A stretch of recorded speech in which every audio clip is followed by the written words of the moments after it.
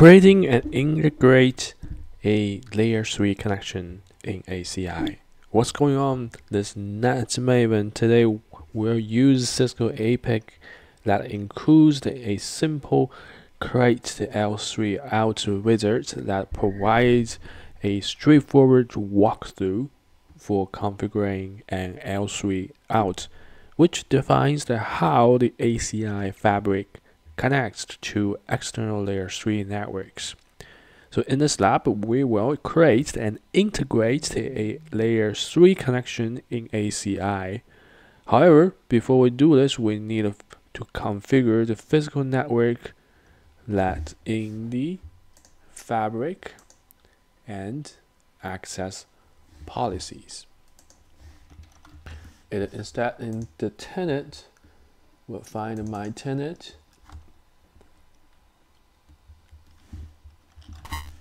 expand networking. Here we'll find is the L3 out. We don't have L3 out, so we don't have it. So our create is L3 domain. Go back to access policies. Open physical and external domains. Here, L3 domain we have to create a L3 domain. We name it as L3 out.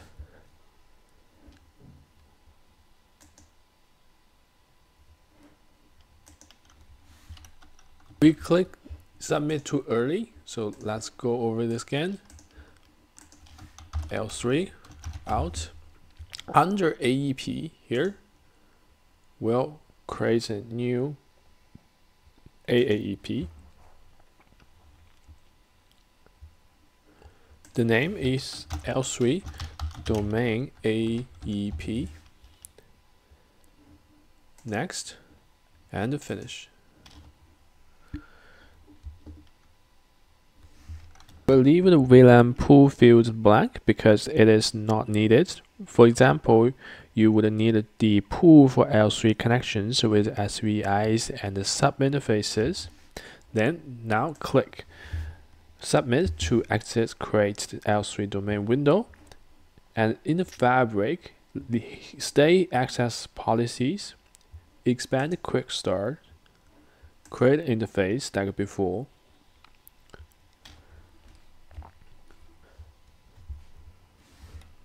What give you background is the router will be connected to leaf 201 and leaf 202, which might leaf 1 and leaf 2 on port 1 slash 5 and it will be running at 1 Gbps.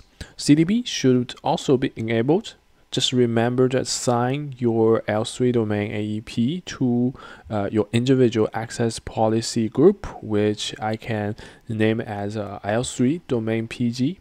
So when I create it, I will have to create it for the leaf 1 and leaf 2. So let's show you how to do that. Leaf, here we'll select the node. Is my leaf 1, leaf 2 click OK. Interface I've set is on the router connected to 1 slash 5 on both on both switches. So interfaces here, interface type, we'll select is individual, okay? And leave access port policy group drop down here, we'll have to create a leaf access port policy group.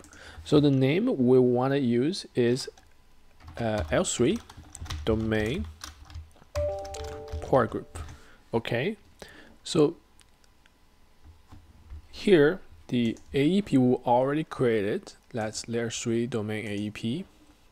CDP, we want to turn it on. Link level policies, we want to use 1 gig. Speed is 1 gig. Select this. Let's see. Don't have any others. All right. Click save now save to create the interface. And now expand interface. Here profiles I will select uh, 1 slash 5 for my L3 domain.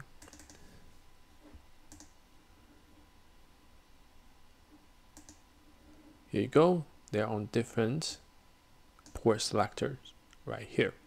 Okay. The access policies are created and now we will use the uh, L3 out wizards and we'll make necessary basic configuration for the L3 out component. We'll create an identity page which will create the basic config for the L3 out as well as static route and dynamic routing protocol. And we'll create a node and interface. This step is create the node profiles and interface profiles for L3, L2 interface. We'll select the protocol. Based on protocol, I'll select the identity page. And there's external EPG. So we'll create a contract and subnet for this external EPG. To do that, we go back to the tenants. This time, we'll to log on to my tenant expand the networking, click the L3 out, right click it, create L3 out. So we leverage the OSPF.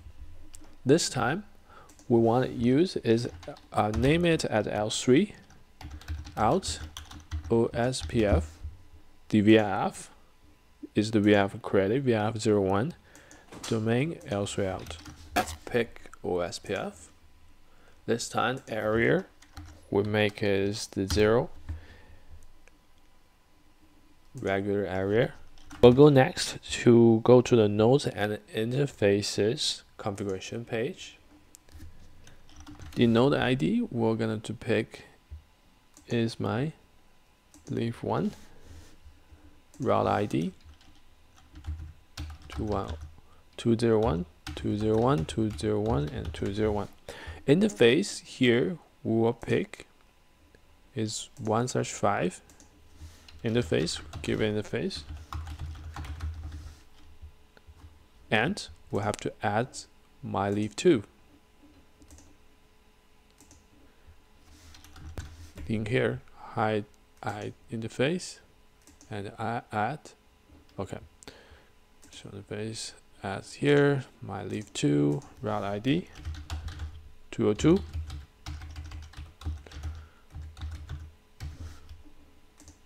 same interface on leaf 2 IP address. Click next. In the protocol dialog just click next. Here external EPG the name we want to use is L3 out. Provide a contract. We would like to create a contract. Here's more step. Contract permit to L3 out. In the subject add a subject same name. From permit to L3 out. Future we're going to add. Find out ICMP click update. Say OK me here. Click finish. That's expanded. Expanded. Expand external EPG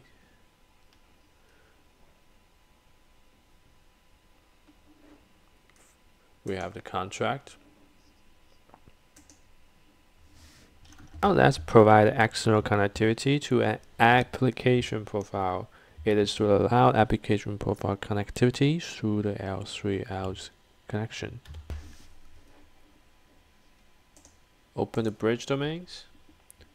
Let's maximize 20.0 uh, dB.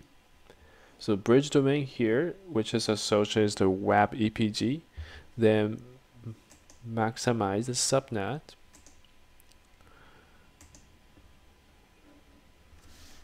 We're going to select advertise externally and submit submit that change then we're going to pick L3 out OSPF to associate L3 out. Let's cancel this. It's not here. We just need to address externally on the subnet.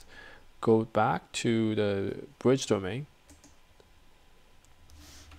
Now, click policy in here what we have is L3 configuration.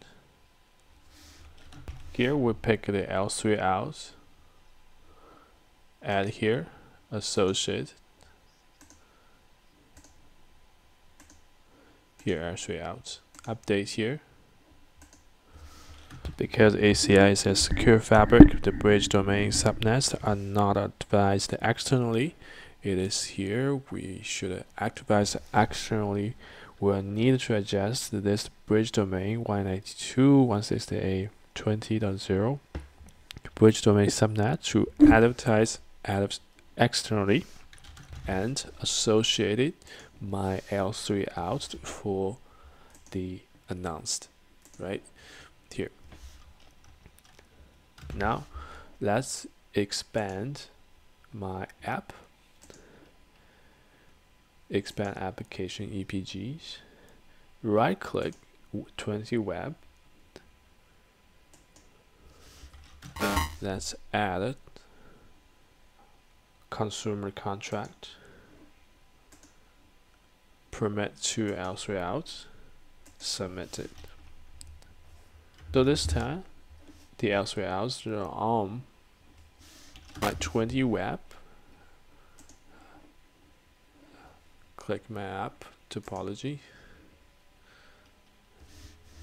In here I know there's a clear diagram for L3 out between that's a contract provider and a consumer for my 20 web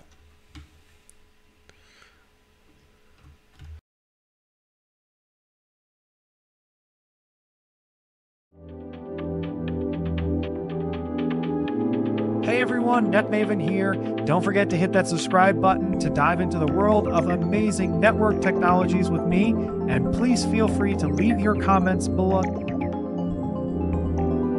Everyone, NetMaven here. Don't forget to hit that subscribe button to dive into the world of amazing network technologies with me, and please feel free to leave your comments below.